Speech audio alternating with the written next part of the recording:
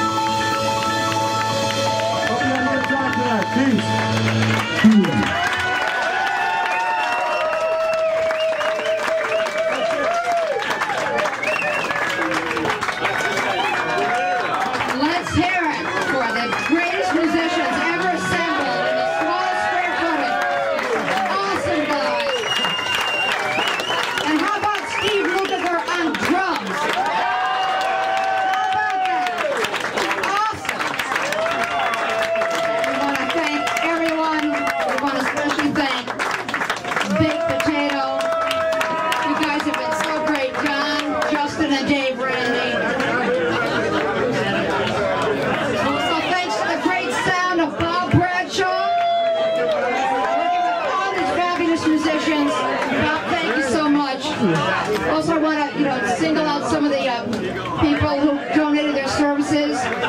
Dave Wiederman of Guitar Center. Lex Morosic of LA Effects.